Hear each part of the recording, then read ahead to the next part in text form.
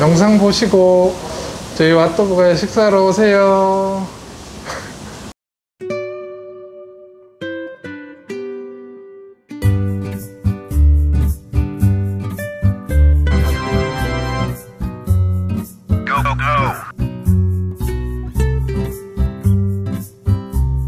저는 32살이고 지금 왓더버거 대표를 맡고 있는 안준혁입니다.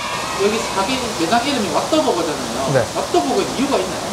원래는 저희 이름을 지을 때 셔터버거를 할까 시그니처 버거로 이름을 지을까 하다가 what the라는 게 발음이 세잖아요. 그래서 손님분들이 이제 저희 가게 이름을 듣게 되셨을 때 조금 더 강한 이미지를 느끼실 수 있을 것 같아서 왓더버거. 대표 메뉴도 왓더버거.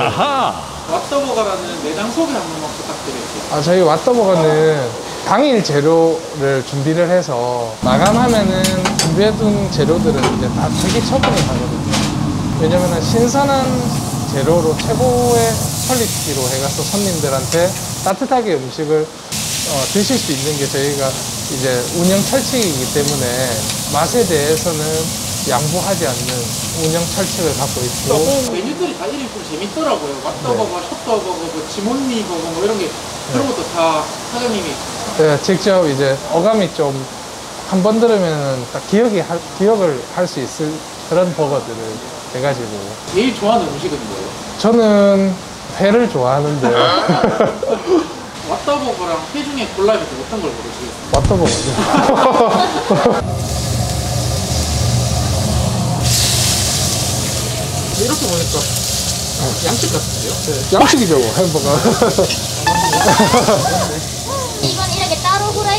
하시는 이유가 있나요? 보통 새우버거는 다지잖아요. 다져서 튀기는데 이거는 이제 저희가 하나하나씩 까가지고 칼집을 내서 그 통새우 식감을 살리기 위해서 방금 뿌리신 거예요? 후추입니다. 통후추를 갈아서 직접 쓰고 있거든요. 원래 평소에 햄버거를 좋아하셨어요? 저요? 맥도 할때 좋아했어요. 이건 뭐예요? 이거 이제 고기 패티 위에 치즈를 얹 어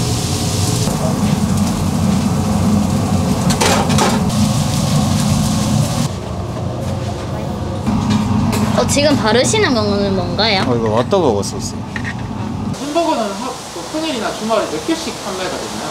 평일은 한 300개 정도는 팔리고 이제 주말 경우 같은 경우는 한 500개 정도 나가기 때문에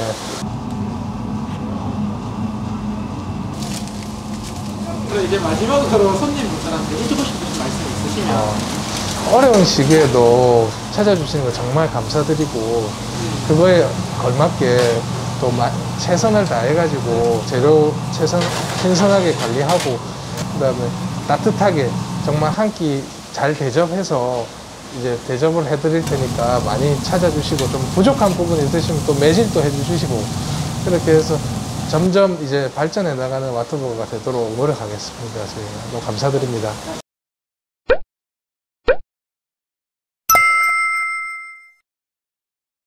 Tabum!